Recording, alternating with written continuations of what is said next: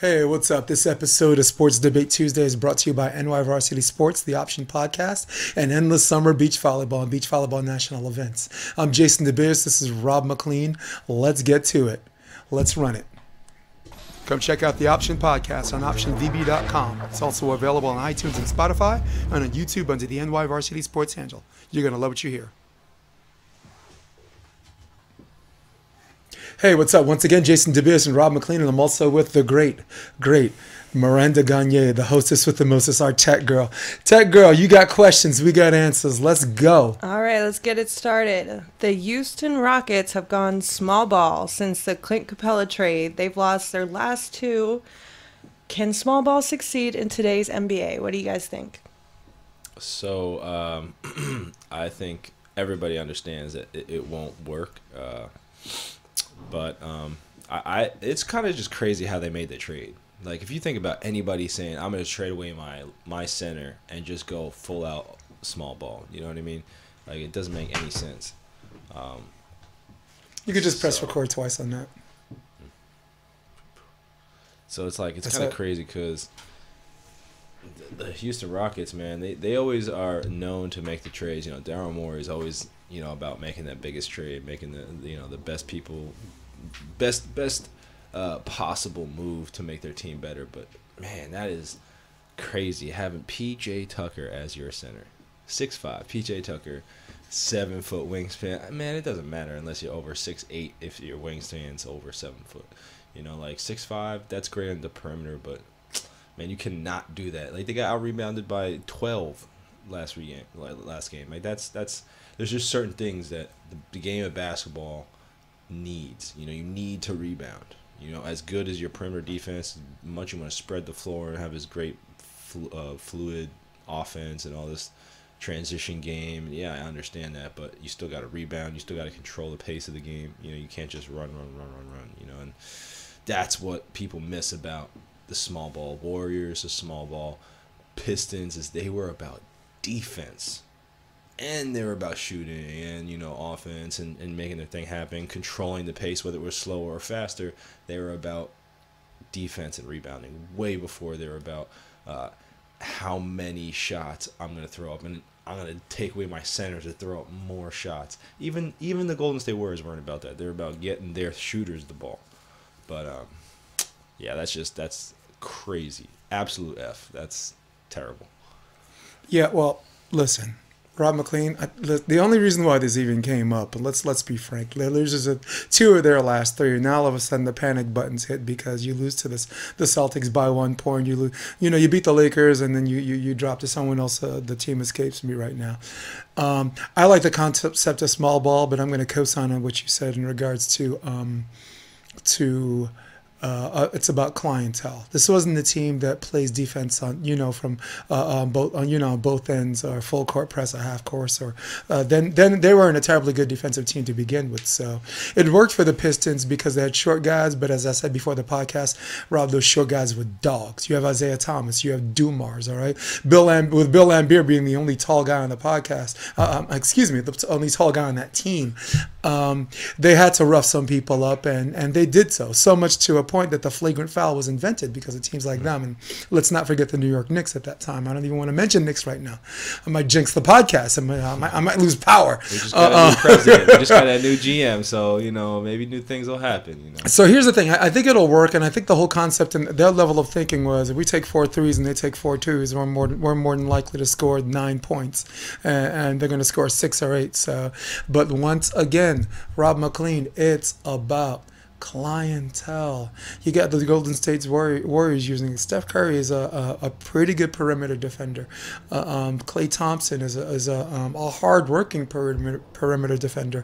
Also, the guys that anyone would consider undersized, like Draymond Green, and at the time Iguodala was Iguodala's a, a hostile. I'm not going to use him, but guys that are like six eight guys matched up against seven feet guys. Those guys were um, exceptions that rewrite the rule.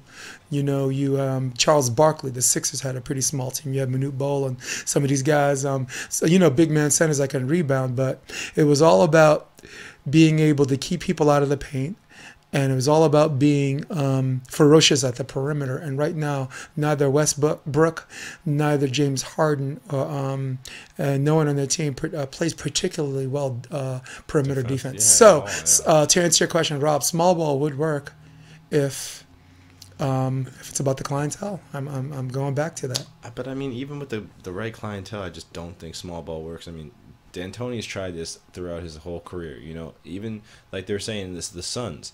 You know, the Phoenix Suns, small ball, Amar'e Stoudemire. They had like a, but he wasn't really even a shot blocker, uh, an intimidator. You know, I think the biggest thing is uh, creating a presence. You know what I mean? Whether you're big or you're small, if if you create a presence on the court or on the on the basketball court, volleyball court, you can be that player, right? Mm. So like let's even bring up volleyball. Like uh, one of my favorite small blockers is Pedro mm-hmm. you know, from Brazil. Yeah, and unbelievable. He creates a presence yep. on the net. You know yeah. what I mean? Whether he's big or small, he creates a presence. So like, you know, you can have a bigger guy that might create seem like a bigger presence, but he's not a good block. So, you know, he can't, you know, uh, affect the game the right way, the, the, way it needs to be affected. Right. But no matter what, in basketball, if you got height, you can rebound. That's yeah. it. You know, it's just you can play defense. It's, you just stick them under the rim, and you're not going to get easy buckets. That's the whole point of it. So. Yeah. Well, for me, it's one. Uh, I just want to correct what I said before. That I thought they lost to the Celtics one of the last three games, and I'm looking on my feed. Thank, thank you very much, Miranda Gagne. Um, they lost. They'd beaten the Lakers, and then they lost to the Suns convincingly. Actually, was um, boy, beat, got the brakes beaten off of them. That was 127 to 91, and then recently just lost by one point to the Utah Jazz, a very formidable team. And I like your comparison with volleyball as far as. Um, um, uh, mo- mo- uh, hybrid mobile blockers uh, that that were examples of, of people that worked and how clientele is. But mm-hmm. volleyball, I think where the rubber meets the road is lately they've been if you have a skill player and you have height, they're they're going to choose height because they're in their heart of hearts strongly believe that they could teach the, the big guy the same type of skill and and and, and we've seen so many times how that's fell on its butt. Um, and that's that's uh, honestly that's that's where I want to finish with this. I don't even know why I brought this question up. to, to, to Miranda, Miranda, Miranda, did you did you come up with this question? Yes, hundred percent. Ah, next question. Interesting. okay, Jon Jones this past Saturday beat previously undefeated Dominic Reyes by unanimous decision to retain his light heavyweight title. So, Rob McLean, did the judges get it right? um, yeah, so for me, I I personally felt that they got the decision correct, not the score, but the decision. um, so um, yeah, you know, for me, and a lot of people do say this too, and, and I'm not saying the scoring is right, but they do score the championship rounds heavier. Um, you put out a higher output uh, in certain rounds. I do think that certain rounds were debatable. Um, third, second. You know, Reyes is a quick starter. He got his quick start. We were talking about this uh, before the flight even. Oh happened. yeah, heck yeah! You know, quick start on the last episode and, of the podcast, Rob. Absolutely. Right? Yeah. You know, and I think uh, Dana White kind of said the uh, said it the best, where everybody expects that either guy is going to come through the fight and, and roll through. Then then you're kind of you're not really understanding the fight game. You know, no, they they, they yeah. both knew they were going in for a war, and uh, either however they however easy they talked on on one another, they knew they were coming in there to fight and, and to have a, a great fight, and it was a great fight. Um, I don't think that it was so decisive that Dominic Reyes should have won. Uh, I think it was really close. It could have gone either way, and it did go some way. And in my eyes, when it comes down to a championship like that, it has to be you got to either put out the champ or you have to be no scratches and that guy is busted up because judges just don't give away championships to challengers. It just doesn't happen. You don't give away, you got to take them. So that's just the way it is. That's the way I've seen it. So, what do you got, Jay? Rob McLean. Mm-hmm you said a whole bunch of things mm. in your little diatribe on this on this on this match, and I thought they were well thought out. Don't get me wrong, but and I'm gonna get to that in a minute. Mm. But I have to start because I have to get this off my chest, and let's start where we're in. We're in a place where we agree. Whatever judge thought that John, Jon Jones won four rounds to one needs to be fired. Okay, uh, for those of you guys that guys that are uh, watching the UFC and be like, "Oh, the UFC judges suck." I for um for uh, I don't like to use the word casuals, but for the people that don't follow the sport as avidly and understand how it works, because that's also connected to what we're talking about. Um, the judges are not assigned by the UFC. The judges are assigned by the by the, the athletic commission or whatever state is mediating and navigating that. This is a Texas uh, Athletic Commission. They assign the judges. The UFC doesn't get to even pick the referees. So they're the one that mediated because it's a combat sport and it's for for fighter safety. They're just trying to make sure that we're um, literally not the wild wild west. So don't blame Dana blame the Texas Athletic Commission, who today on a report said they were unapologetic and um, they put out an article on why they made they came to the decision, but because they didn't say sorry, I didn't read the decision. I didn't read the story. All I wanted to hear was sorry first, and then we could read it. Now, with that being said, Rob, Rob McLean, mm. it would be nice to say that Jon Jon Jones finished strong. He did. It would be nice to say that the champion uh, won the championship rounds in convincing fashion. He did. It'd be nice to go back to those pride days where, like, if there was a six round uh, and discuss the hypothetical, like if Jon Jones won, if there was a six, he probably would have finished him.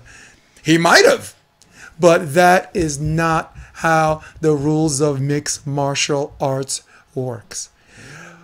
Dominic Reyes I believe, strongly won the first three rounds. There might be a dispute on on on. I think one of the judges gave Jones the second round. The other judge gave round. Um, the other judge gave Jones the third round, and that's how they came to the three to two. The four to one, we're just not going to talk about anymore because we got that off our chest. Um, if someone wins the first three rounds, mixed martial arts is scored by the rounds. So unless you were, we're going to make an argument that round four or five was a 10-8 of Jon Jones, which someone, uh, someone, one of my peers brought up, which I um, um, adamantly disagree with, because if someone tags you back, or um, it's not a 10-8 round.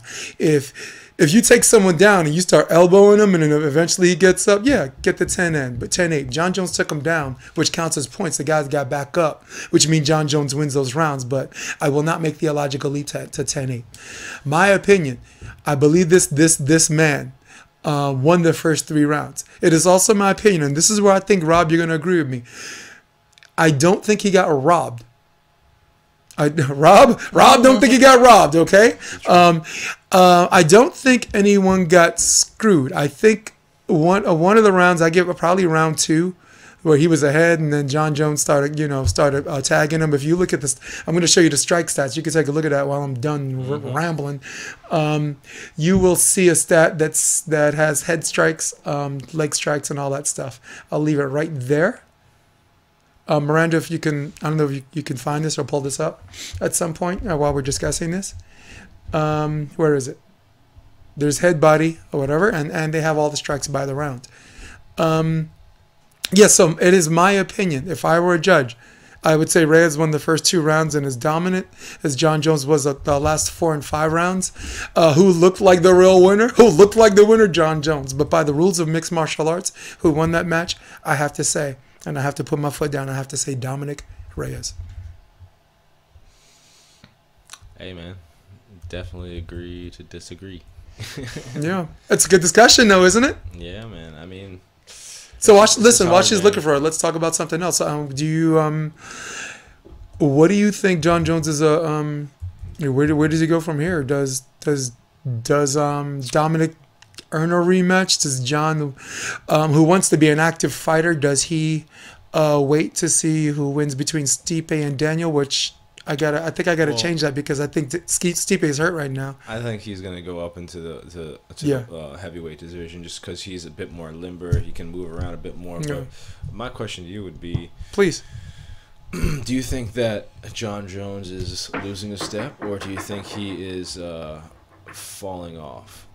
I, mean, do you think that the rest of the division's catching up? I think you mentioned something last week about him being safe, and I made the argument that that's that I think that may be true, but I also think because there's a bigger sam- sample size on video and his tendencies and what he likes to do, I think in this world where where coaches are who are not working a nine to five at, at a at a at a, a, a law practice and doing this part time, where coaches are doing this twenty four seven. I think I think just like the major sports, people smarten up people smarten up. We're not going to use the Super Bowl as an example for smartening up, okay? Because that that was just someone out, out thinking himself. I just think people smarten up. It's on UFC.com, so that's where you get it. Um, and um, so to answer your question, did Jon lose a step? I don't know, and I there's no evidence to to suggest he, he did. Could he have? Yes, but the evidence is not there because nobody tested him. But I will tell you this: and this is I suspected this all along. The dude has a chin. Rob McLean, he got jacked up and yeah. still and still kept uh, um that uppercut Ooh. and still kept pushing the pace right into the mm. yeah. Mm. How much did it remind you a little bit of uh, like Floyd, like just dominating the center of the ring and and he, he's taking hits, but he's pushing the pace. Mm-hmm. I mean, Dominic Reyes was very tired by the end of the fight, like the fourth and fifth round, and and this is why, and, like, and no one's really fought this this idea is where, uh, I don't think I think that Jon Jones could have lost the fight because of he should have done more. I felt like as a fan, he should have done more with what Dominic Reyes was giving him in the fourth. Agreed. Yeah. You know, let's go. That's down. where my is he's playing safe. You know, where he doesn't I've never seen an offensive explosion from him in like two, three years. You know, it's always just uh, tick tack, tick tack, tick tack. Like he never, and he talks about not oh like I'm so I, I don't I don't I wanted to finish somebody and I and I and I just didn't like get the chance to finish him and you always look for the finish but you don't get it. I don't feel that anymore. You know, right. I don't feel that from him. He's just he. There's never a strike. There's never a, a, an actual thing that he does that's I feel like is going to knock somebody out. He right. may have the tools to do it. Mm-hmm. He may damage people, and that's what he does. He's damaged yeah. them. To and he and he will take his shots. Can you um exactly. scroll up? Scroll up. I want to see. But it's almost like he's he's he's okay. A little more. He's uh, devolving into his wrestler mindset. You know what I mean? Where he's like, I I could fall back in the wrestling, or it just I don't know. It just uh, yeah. I feel like he's maybe got to break out of whatever maybe Jackson Wink box he's in yeah. and get to a different mindset. Just open up his game again because his he just looks very stiff and very over calculated. Right. Right. Like, and and that ra- that's a, that's what raised the question in the first place, right? Mm-hmm. Um, yeah. Oh, it makes complete sense, Rob. Uh, yeah, for me, um, once again, um, maybe he did, maybe he didn't, but I think his his his his leg kicks and body kicks and his dexterity, as far as that concerned, looks it looks oh, looks looks, looks looks nice. His striking, um, like when Rampage Jackson said he couldn't bust a grape in a fruit fight. so he's never been one for this this knockout power, though. If he does catch someone, yeah. his ability to rain down on people, rain down the elbows, and and and and like like he did to Daniel Cormier. Well, I just think um, there's a there's a there's a technical ability to, to any sport, and then there's like the get like what you'll what you'll actually put into it. Uh-huh. You know, because you could swing perfectly in volleyball, but if you don't put hundred percent into your swing, it doesn't matter. They're still going to be able to dig the ball. Agreed. So you know the same thing with but, the punch. Like Thiago Santos but, puts but, in hundred percent. Yeah, but but by that rationale, volleyball, sometimes your technique and your contact uh, maybe your swing starts slow and it speeds up. Is it one of those things where Jon, um, his technique gets stronger as the match goes? The answer is no. Mm. It's the same. It's it's, it's, a, it's a flat line. And that's why we're talking yeah. about it because yep. it's not something that improves or evolves. Yeah. It's something that you know he's basically making stay still because nothing stays still. Yeah. But he looks the same in the in the fights, so that means he's forcibly making it. Happen. I mean, Rob, if he goes to the heavyweight division, you're going to see a lot a lot more of his wrestling. I know, um, and and it's yeah. highly underrated. That man's the JUCO champ. You know what I'm saying? Um, he, he's he's taken down Cormier. He's he's you know he's taken down uh, Chael Sonnen. He's he's he's he's really good, man. That's why I would love to have seen him uh, go offensively into on, on the ground a bit more in some of his fights. Even in, like even in Thiago Santos fight, like just being more aggressive in, in, on your ground game to set up all the things you can do on your feet. You know. Agreed. Yeah, that man. So. I, and yeah, so so I guess your basically your answer is right now is you're saying that he um he might just get his next match. His next match might be heavyweight, right? I think I think yeah. he has to. I think what I think he has to find something different yeah. because these guys are going to catch him. Yeah, yeah, because Derrick Lewis. I mean, I know he's got a chin, but no one want to find out if Derrick Lewis, Lewis hits you. Which, by the way, I think is a match that Jon can take to the ground. Exactly. Uh-uh, That's he, he ain't, he ain't gonna find out. Like Daniel Cormier when he fought Lewis, he got rocked by one of them shots. Yeah, he ain't to find out. Anthony Rumble Johnson, like he hit, he hit Daniel Cormier so hard. I thought I thought Daniel Cormier got shifted to a different weight class. I was like, he's gonna fight Mighty Mouse next after this. I mean, What's even up? Stipe when he fought Ngannou, mm-hmm. like he got cracked Yeah. one time, and then he's like, "I'm just gonna put my hand in the back Yep. of his neck and keep him on the ground because if I get hit by one of those fridges, This- he's got a fridge." The smartest way I've ever seen someone fight Oh my um, gosh. um, Ngannou. The smartest way uh, uh, the, uh, out of all of his matches, Derrick Lewis, and, and I don't even people people remember that Derrick Lewis fought Oh um gosh, Ngannou. Everybody's. I just forgot about it until you brought it up. I'm sorry because we're supposed to wash those things from our memory. That's we probably ain't the most it. feints without a punch in a fight I've ever seen in my whole life. Just, feint, uh, No, oh my god, ah, jeez. nobody wanted to swing on that one. Yeah. So with Stipe hurt right now, and Jones wanting to stay active, and with other fighters like Johnny Walker lost a bad one. Johnny Walker looked like he was on his way up until. Um, Do you think if he stays at 205, he'll fight Corey Anderson? Who's that? Uh, Jones? Yeah. Corey's looking good right I now, dude. I know. I really like Corey Anderson. Me too. Because he. He's also has an axe to grind too. That's what I mean. And, Yeah. and he's a wrestler as well. A really good wrestler. A Yeah. guy who won a lot of his fights in the beginning by wrestling and just beating people up, which is what I'm telling you is like what Jon Jones needs. And I'm not saying that Jones, uh, for me, Jon Jones is a fantastic defense, like a standing defense to get to the ground. I really haven't seen much of his ground game in the UFC. He may be a, a JUCO champion, but Right. Look at Ben Askren. You know what Oh I my mean? God. Look at like, and it's nothing against all these wrestlers, but the M- MMA forces you to evolve from that person. So it's great to have that as your base, as your starter. Yep. There's a reason for that, but like. It, you're not doing that anymore, you know. So it's like if you don't do that same stuff all the time, you're gonna lose it. And I think Yeah, well, I mean, I mean, Rob McLean, and these these days, you're not gonna find someone that's you're gonna find someone like Askren or whatever that has a strong suit in wrestling. But as far as Mhm. complete fighters are concerned, there's just too many of them. there's too many. yeah, And it was only a matter of time before Askren ran into a complete Yeah, fighter. oh my I mean, uh, honestly, he should have gotten yeah, that. They could have easily stopped that fight against Lawler. He could have been. He could have. He could have been zero. He's one and two in the UFC. He could have been zero and three right now. Let me tell you this: if if Masvidal happened before Lawler, and Mhm. then he was getting ragdolled like that in Lawler, they would have stopped that fight. Yeah. But because Ben Askren had never seen that type of stuff before, they Mhm. let it roll, and, and he got back, and blah blah blah. But if if he had gotten just five second by Masvidal and then came back, and then that's how that fight looked, they would have stopped that fight. But he got dropped on his head because he was getting dropped on his head, and then he was getting Oh Lord. Oh, man. good. Good Lord. So uh, here's my opinion. If he stays in 205, I think he fights Corey Anderson. Um, when the athletic commission refused to give him his license because of the picogram thing, um, they moved. Dana spoiled Jon Jones to death, and he moved the fight to California in six days. And Corey Anderson, you know, had to move his whole family, not just that, relatives who paid for hotels.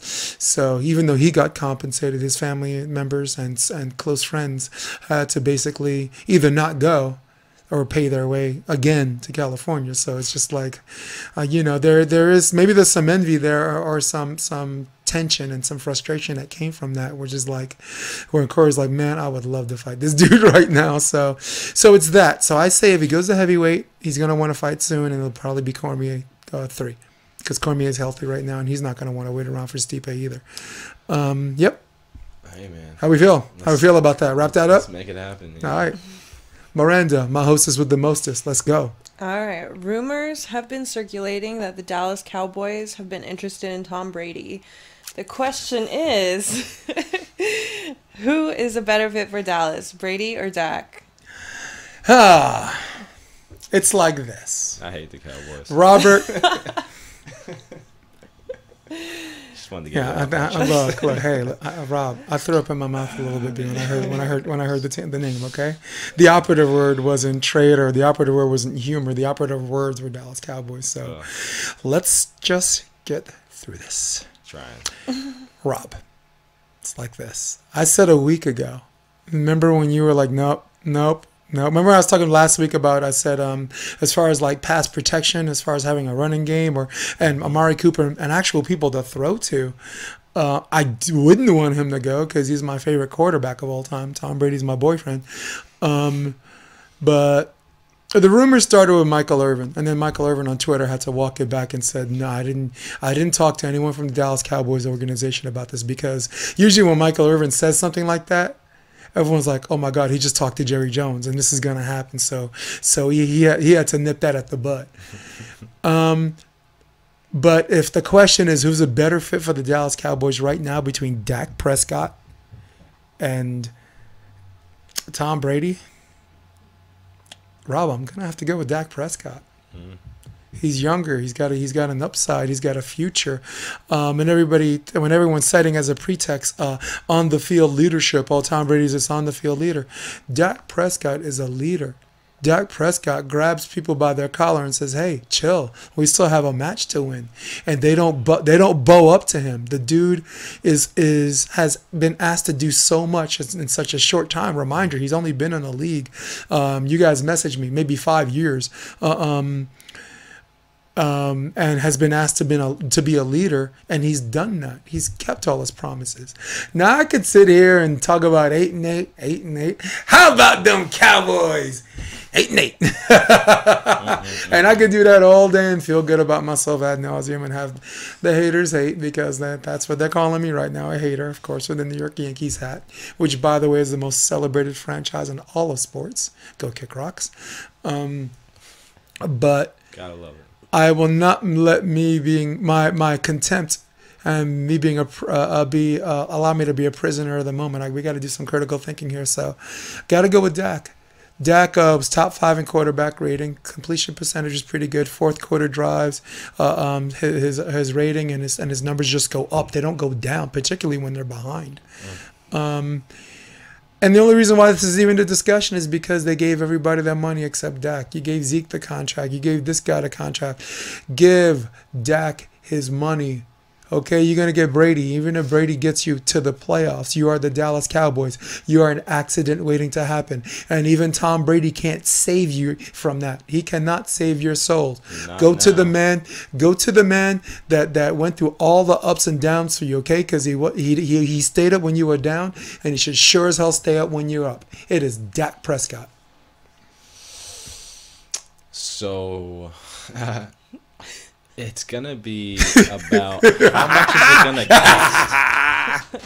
how much is it gonna cost? That's the problem. Uh, Dak Prescott is gonna want a long-term contract, um, and for me, when you have the talent that Dak Prescott Prescott has, he's gonna get severely overpaid.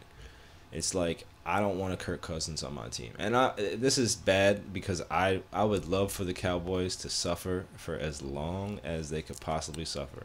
Yeah. The way that their fans are, they can suffer for all time. Yes. But if they want good advice, you got to get rid of Dak Prescott, and it's unfortunate because I love drafted players. I love when you draft a player. It's really hard to get rid of them because you've done it. You know, most people always either throw it in your face or you you, you didn't have a good guy or you, you didn't really make it out or he's he's not going to really make it to something. But he Dak Prescott is actually that guy who is going to sink your team because he's going to have too much money and he's not going to allow you to make a better team. I would love for Tom Brady if I if I was in the position of general managing the Cowboys, I would take in a Tom Brady for a one or two year deal.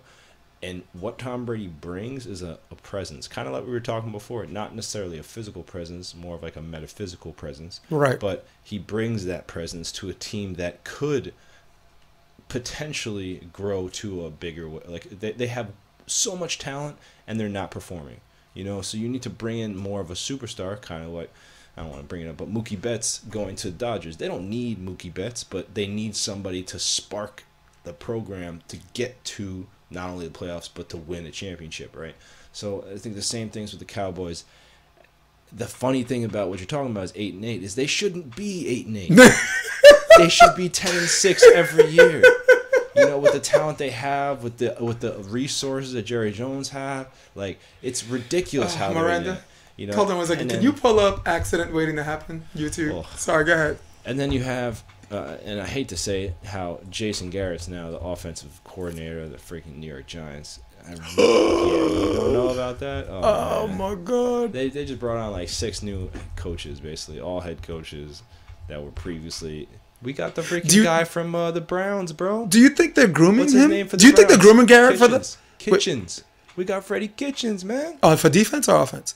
I think defense. For head coach? know Who- offense, offense, oh. offense. So who's the head coach? Um, who the hell is it? Uh, the dude from uh, the the Patriots. Oh yeah, yeah, okay. Uh, Joe Johnson or something. Yeah. or Yeah, I like him. I like him. I like him a lot. Yeah. But dude, you can't bring on 600 head. I mean, I guess you can because if you think about, it, look at the Browns back in the day with Belichick, and then all those guys became head coaches other places. You know, um, I don't think it's a bad thing, but one that got that We'll- young we'll head coach has to manage, and and two, sorry, I, this is off track, but No, this is this is football. uh, but um, so Jason Garrett was horrible as a head coach. Uh, Just as Freddie Kitchens would have done the same thing if he had four more years to do the same crap with the Yeah. same team, right? Yeah. So Jason Garrett was terrible, and everybody was joking at that, and then eventually just became the eight and eight talk. The thing is, they should have been ten to six in the playoffs for many years, and then either crash and burn from there. But when you're eight and eight, you don't know. You Yeah. could be, you couldn't be. You don't want to read through, like, go through a whole rebuilding process. Yeah, the best left tackle in the yeah. league who can't stay healthy. It's just I mean, Amari It's really Cooper, he can catch ten balls and then catch zero. and zero on the Yeah. first third down. You know what I mean? No. It's just. Uh, it's Now, Rob, if this were a year ago Hmm. or two years ago, with Jason Garrett still the head coach, make mine Tom Brady, because Dak Prescott, as much as I said about his leadership, it wasn't enough. They, you know, because when they're losing and the defense is getting their ass kicked, that's not a, uh, it's not a quarterback thing. When kickers miss their kicks or special teams is a, is a disaster, that's not their thing. When Dak is handing off and Zeke or, or whatever multi-million dollar man is not getting runs, that's not a Dak Prescott thing. So it's one of those things where if Jason Garrett was still there, make mine Tom Brady. But now you got you got a, a very capable leader, um, uh, someone particularly uh, good at handling strong personalities. Uh, McCarthy, who uh, who um who was with um the Green Bay Packers. Yeah. Uh, so yeah, you got Brady. I got Dak Prescott. Let's hey, let's play the beginning of this clip. I hope they don't take me down for this, but I got to. Go ahead, let's do it. A mediocre team. They're gonna be able to hear the music. This is accident waiting to happen.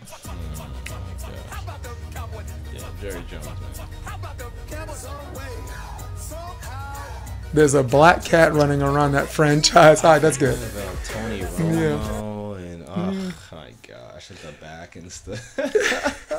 Yeah, with the because it all started because he missed the handoff for the field goal Yes. way back when. Well, he was the um he was the he was the he was the holder yeah. for Bledsoe, and then he and then Bledsoe got hurt, so he became the starter, and then he was also holding and then Bledsoe Bill was hurt. and Bill Parcells went cheap. He's like, nah, we'll, we'll still let him hold. Uh-huh, and then the then last, the most of it, he scores a touchdown, they come down, and then he can't hold for the. Do you think that's where the jinx started? I just think, and it's not even the jinx. It's just like when you do things, you know, that's that's you. That's what you've imprinted on yourself. So you have to do a lot to re. You know, it's it's not that we're all gonna have uh, that we're never gonna have failures, but do you rise from those failures or do you fail more? You know, and that's just I think he was a person who failed more in those because I think he did amazing in the regular season, but when the pressure hit, those Yeah. same things came out, and he never really, you know, exercise you know exercise those demons. So Hey man, we're gonna get into a discussion about the Giants next week as they continue to put their their parts together. But for now, Miranda Gagne, hmm. my hostess with the mostest. Let's go. Okay, we're going to turn to beach volleyball for a little bit. As the time period for partner shakeups comes to a close, because the season's about to start, what's the most interesting partnership that you guys have seen or heard of so far? There are some pretty cool ones, and um, and I'm so glad we're talking about this because this start, you know, this is an offspring from the Option Podcast. I want to um, address um, before I start. I want to address someone. It's like, why do we keep changing the name? That's Shane's joke. And Shane, the answer is we're not changing the name. This isn't uh, the Option Podcast. This is called Sports Debate Tuesday, and it was an offspring from that. So this is something we're going to do every single Tuesday. We're a day early because Rob Rob McLean uh, with platform with P1440 has an intra squad tournament at Huntington Beach tomorrow. All of you guys come through, man. It's gonna be fun. It's fun to watch. Huntington Beach tomorrow morning. Um, so yeah, so we didn't change the name. Uh, and Ken Bassarat that thought STD meant something entirely different from Sports Oh, Debate man. Tuesday. I love you very much, and when you come to California, uh, you're more than welcome to come on Sports Debate Tuesday as a guest, Kenny B. and definitely, Kenny! and definitely come on the Option Podcast as as just. As just a, as, as a pure episode, because you man, do man, do you have some stories to tell, and I would love I would love to have you on the podcast. And with respect to my volleyball brother, you would definitely generate more views. Um, so, um, with that being said, the AVP. Um, I'll start first, okay? I saw a bunch of good ones. Saw Troy Field was gonna um, uh, hook up with um, Casey Patter- um, Patterson, Hmm. right? Yeah, yeah, yeah. Um, Olympic run apparently. Dave Lee, don't know who he's running with yet, but the one that generated interest and has just happened. I just figured this out yesterday. I was in, um, I was on the beach, Hmm. Getting my butt kicked by a bunch of fifty year olds, and they're like, "Oh man!" All my partners like, "Oh, I'm sorry. I wish we could have won that." And I'm like, "Dude, if I wanted to win, I would play someone younger." okay, I'll technique them to death. So as I'm going through the strand, passing by, saying hi to people I know and people I love, people that love me, Miles Partain's out there, Big Pearl, big up. I run into Ty Loomis, Hmm. and Ty Loomis is playing with Ryan Doherty, Yeah, I think I saw that the other and day. that is my team of interest. Ty Loomis has been a very, very good defender behind Maddison McKibbin when they won the AVP two years ago in San Francisco, or wow, actually going on close to three years ago. Um, Ty Loomis was a great hybrid blocker defender with other partners that you've seen him play with in and out. Um, uh, Brunstein, I think they split block a little bit. But Ty Loomis finally has a giant at the net that he can not only play defense behind where some of these plays where he works a little bit harder and stabs his gas tank comes a little bit more easier. And I'm so, so excited to see him play with uh, Ryan Doherty, and I'm I'm so excited. Um, he's he's agreed to come on the podcast, and he's always my, one of my more fun people. And um, Ryan Doherty actually actually lives in the area. You're more than welcome to come too, buddy. Buddy, let's do it. Let's do it. Rob, Um, so I was actually on the other beat on the beach the other day. I was watching uh, Miranda play a couple of volleyball games. that's And, our uh, hostess. Sh- right. She's a b- baller. Bala. and, uh, um, and I saw Bill Kolinske, and I heard that uh, I was asking him who he's playing with for the season, and he said he's playing with John Hyden. So I heard them there are uh, teaming up for the season, and I thought that was fantastic because, yeah, John. Uh, I would just love to see John play with somebody who can uh, set the ball kind of where he wants it uh, in transition as well as inside out. Um, I think he was trying to do a lot of movement and uh, and trying to you know evolve in the game that's kind of evolving you know around them. You know, the, the- I feel like the game has kind of been really stationary for a while, and now it's it's really evolving very quickly. You know, uh, maybe It two is. or three years ago, Yeah. it was you know all about the setting and you know like running a play, and now it's just like you run a play almost all the time if you can. Uh, if you can't, then you know you're slowing it down. But the game is really fast now, um, and it's just great to see. And I would love to see how somebody with a mind who's had a lot of experience, who's played two different like decades, pretty much of volleyball, try to evolve and, and, and grow in the game. Yeah, I'd say a couple of decades of beach volleyball. I mean, Yeah. uh, as far as decades of volleyball, we're going we're going close to uh, three and a half. Right. um, indoor player, 96 Olympics. They called him Whiskers, had a little beard, looked like a sexy Jesus. Um, so I like the team for one reason, uh, but I, I- I think their strength might be their weakness. Uh, one of Hyden's biggest strengths, and you might you might agree with this and interrupt me at any point, he doesn't have a, a lot of wasted moves. Um, his ability um, to make one move to the ball and, and his ability to read hitters, a hitter's body language and, and and and how he takes that body language and responds off the contact is amazing. The dude just doesn't, he doesn't have any wasted moves. Um, I see him play a lot of Todd Rogers style volleyball where I, it looks it looks like he's cutting a foot off of each side of the court, and if you hit it, you could have it. Meaning, if you're perfect, he'll lose to you. But if you're anything other than perfect, you won't. Meaning, if you're good, you're gonna lose. If you're very good, you're gonna lose. If you're great, you're gonna lose. If you're phenomenal, you're gonna lose. No, you have to be perfect. So, and I like that game. And I, but by that rationale, I also think that that's um. That's going to be the weakness of this team because Bill Kolinske has pulled out a lot of wins with players who do take that extra step and, and can cover that perfect shot. And in some of these games, and, and you, you, Rob, you see the gap, right? There used to be this team, that team, but now you're looking at these three setters that are 16, 14, or some of these, these, these first and second setters that are 24, 22. The gap is closed so much with some of these kids coming up. Uh, it's because they, for some reason, I, I don't know if it's an evolution thing or, like you said, or just a father time thing, they're, they're catching up. Um, on coming up with digs that John Hyden um, will not come up with. So, um, is this team a top five team? I don't know. What do you think? Kolinske and um and Hyden. I just think there's a lot of teams. Uh, I think there's still going to be a little bit of movement. Um, uh, I'd have to see like a list in front of me. I mean, I like their experience, and I think experience goes a really, really long way on the beach. Uh, at being able to maintain a high level and then not have to mentally maintain that high level. You know, I think that goes a really long way. Um, Hmm. So I think also, uh, you know, being crafty on getting people out of system, you know, being able to set up your system in a certain way that affects the game. I think again, massively impacts the game. So I do I, I think they could be a top top five team, sure. Especially the U the U.S. top five. Yeah. Uh, they Oh, we're not talking US about the world team. We're not. Yeah, I'm saying the U.S. Come on, I'm in a good mood today. don't make- me don't make me do that to nobody. I mean, it really depends on how they click together. I think if they side out, I think they could create a system um, that could easily mimic uh, John's defensive game. Because I think Bill's a really, really smart technical blocker, and that's the exact kind of uh, blocking that you want as a, as a player as John. So I think it actually work out really well as long as they side out. I like this. I like your pick. I like your pick. Look, Bill Kolinske, no, one of the nice guys at beach volleyball, right? You want nothing but nice things for that guy. Um, I mean, he's spent a lot of his career doing more with less, and I'm not casting any aspersions on Eric Beranek. I mean, after all, they are the team that went through the qualifier in Manhattan Beach and made all the semifinals and beat my guy over here, Rob McLean, to do it.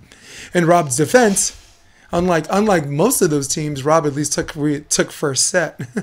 um, I was on. I was actually. that was I was actually on the sideline. I was under the umbrella for you on that one, man. We we were just trying to figure out ways to to beat that team, and that was really cool. I th- to me, with respect to the Aurora in the third set, uh, Kolinske and Aurora got a lot of the serves, and Kolinske came up with these big little clutch kills, and Aurora just missed some. And that's sometimes you play a team where everybody's evenly matched.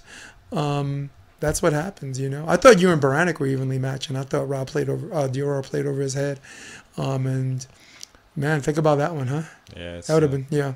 It's funny. I haven't thought about that in a while. No, you're, you look, you're on your way, man. That's that's the team that made the semifinals.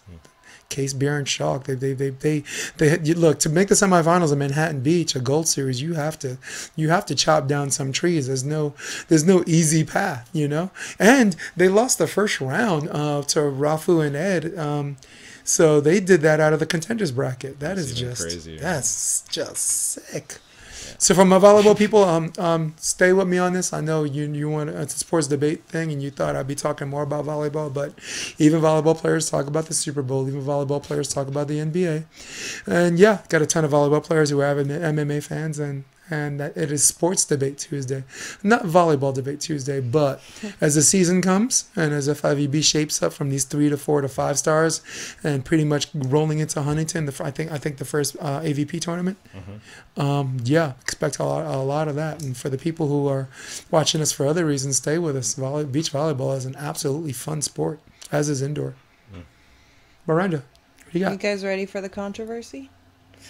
Okay, the last episode of 30 for 30 was an inside look at Michael Vick, with his stint in prison for animal, animal abuse being a huge asterisk in his story.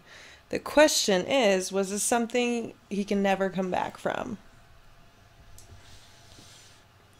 It's a weird question. Yeah, let me let me let me talk about this. Take it 'cause- in.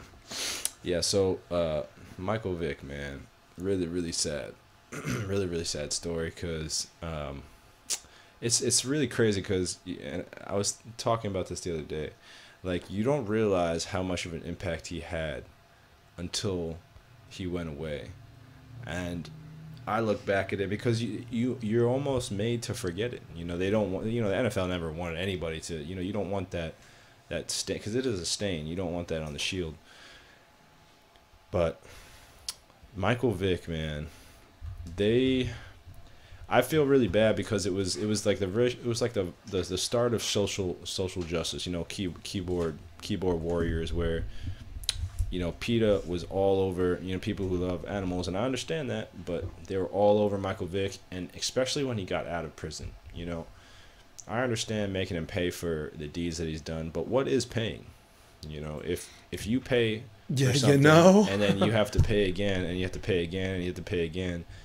You know, one, you, you're not even allowed to get frustrated. Then, you know, two, you have to continue. Like, when does it end? You know, when do you stop paying? You know, like.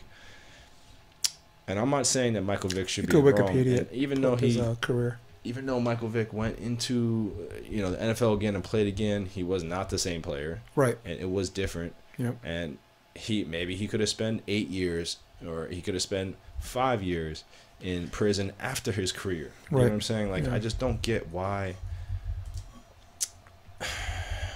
it could it, it- you, like I, and again I understand, but he was never given the chance even after he got out of prison to have a clear name and and to go on living his life because he created a great legacy. He created a great uh, life outside of football past his mistakes. You know, so what when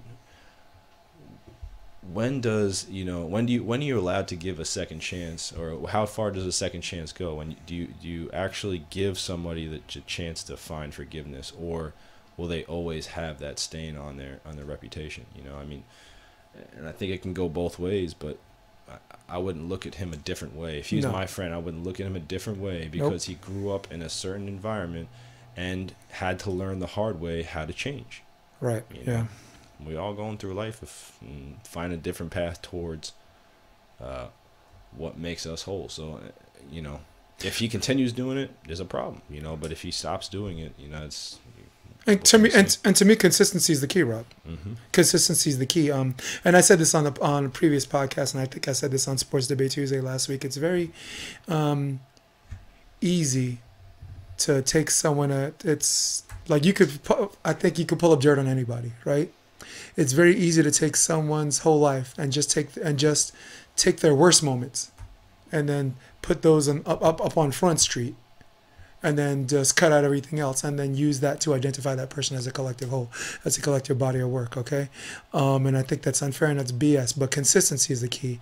Are you that same person from ten years ago? Are you that same person from five, five years ago? I'm not even that same person from yesterday. So, um, I want to talk a little bit about Michael Vick.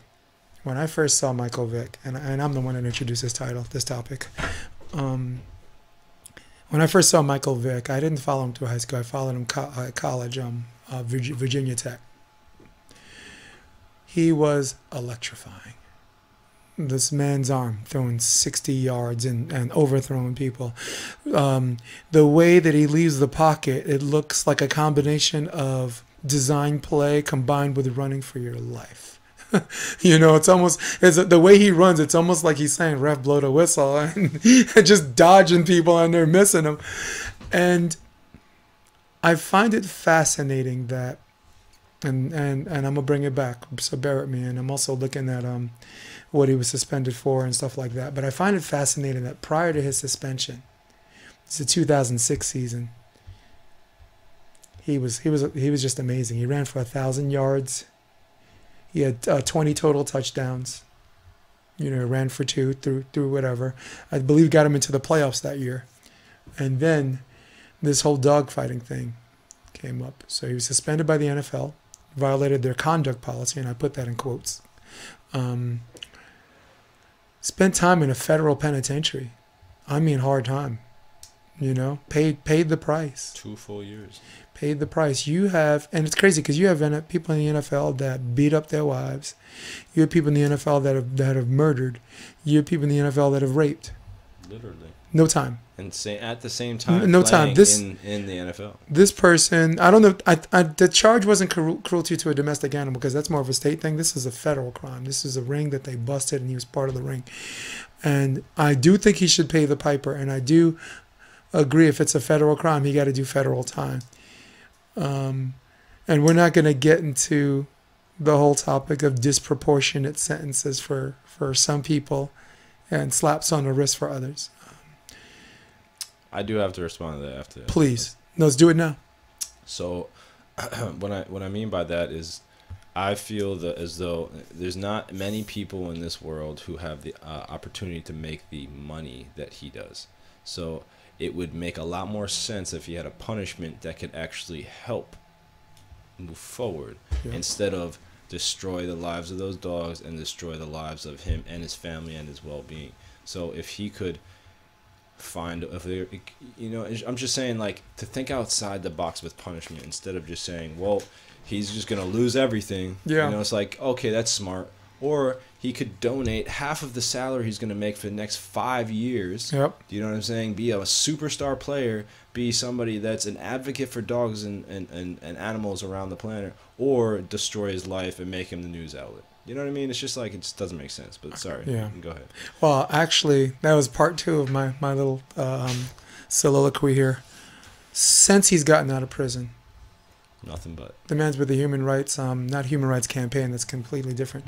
Um, animal rights. Every uh, major animal rights thing, any uh, human rights thing, he's been touring and he's been talking about the importance of taking care of of animals. He's rescued dogs from shelters. Uh, um, um, he's um, helped house abandoned abandoned animals or, or, or, or animals that have been abused.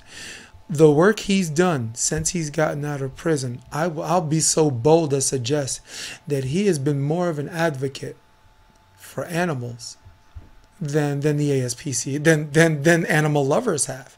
He has done more since his since he's left, and he left federal prison with nothing. His his account was minus a thousand dollars. You guys gotta watch that thirty for thirty. He lost all of his money. Uh, the guaranteed contract, there, there's fine print that if you do this, you lose your guaranteed money. So when he went to prison, the, he lost a ton of money spending it on his lawyers, this and that. And um, big up to um, Tony Dungy that just said, hey, this kid talked to me. He looked me in my eye and I believed in him. And I think he deserves a second chance. Now, from a football perspective, he did. The first two years back, he did exercise that second chance. His, year, the, his best career um, Yeah. year in his career was, I believe, was 2010 with the Philadelphia Eagles. Passed for 3,000 yards, threw 21 touchdown passes, ran for nine. Uh, ran 676 yards. I, and we were as Giants fans, or I'm I'm a Buffalo Bills fans, but as Giants fans, we, we definitely remember some of the stuff he did on uh, to us when he was up, and then when that game when he was down 24-3. Uh, remember DeSean Jackson returning that punt for a touchdown with no time left on the clock. It's ridiculous. Well, whoever punts in the middle of the field deserves whatever they get. So that was a bad, bad um Tom Coughlin thing. I can't believe we get back to New York teams. I'm sorry about that. So the question is, can Michael come back from that? My the answer is he's already come back from it. There are going to be people who are animal lovers. I have close friends that have pets, and they're like, that is the most unforgivable sin. You you could chop my finger off. Okay, we'll put it back on. You know, you could shoot me in the shoulder, walk it off, be a man. But you if you if you if you if you f up a cat or a dog or whatever, and these people, I have friends that are cat lovers, have a house full of cats. I have friends that are dog lovers. There is no this. It is the most unforgivable sin from them, and for them, I'm saying, okay, cool. That's unforgivable. You he can't. They, um, and as far as him redeeming himself, there's nothing he can do that'll make you say he's coming back from that. But for the other people who believe in uh, um, uh, um, the intervention of forgiveness and the path of redemption, for the people who believe that the, the death penalty shouldn't be for every single mistake, for the people that um, desperately want to believe that you're not you or us as individuals are, are improved versions of ourselves if we were good human beings and ultimate reversals when we were bad human beings. This is your man. This is your man. He's come back. He's come back on, on the football field with a vengeance. He's come back off the field uh, with a vengeance. And Michael Vick has redeemed himself. To quote that song, I'm coming home. I know my kingdom awaits. They've forgiven my mistakes. I'm coming home. I'm coming home. Tell the world I'm coming home. Mikey Vick, baby. Now, wow, Miranda's like, dude, shut off the camera. That's we're gonna. This, this is how you end the. This is how you Like, end should the I podcast. start playing some music or something? Um, no, but I, at, at the very end, I do What's want a you, piano? I do want you to run my thing again at the end, the uh, the promo thing. Uh, For sure. We're gonna do that beginning and the end. Um, but hey, Rob, anything else you want to add to that? Ah man, Michael Vick. Yeah. No man, I just he's just such an incredible player. He he came back and and like, pff, damn, for three four years, you know they they moved on from Dan, Donovan McNabb because you know he was there. That's crazy. Yep. So yeah, I was just yeah, Michael Vick, man, favorite player because lefty too. Yeah. you hey, know, lefties are geniuses. Lefty, yeah, Yeah. man, yes they are. This guy here, Rob McLean, is ambidextrous. Hits with both hands. If he hurts you with his left, go down. I'm really lefty, but yeah, Oh, you are. yeah, You're right with your left. yes, Good. I get to call you a genius. yeah, Well, Miranda got it right, didn't she? Huh? yeah, If you're not a genius by the time you're 30, make sure you're married to one. right. Um, well, with that being said, we're gonna hey, we're gonna skip the pet peeves this week. We'll do that in episode four. Um, for all of you at home, I thank you. I'm eternally grateful for you tuning into this um, this branch off from the Option Podcast. This is Sports Debate Tuesday. That is Miranda Gagne, my my hostess with the mostest. This is Rob. Keep him McLean McLean. I am Jason DeBase, and for everybody else, I say, I love you.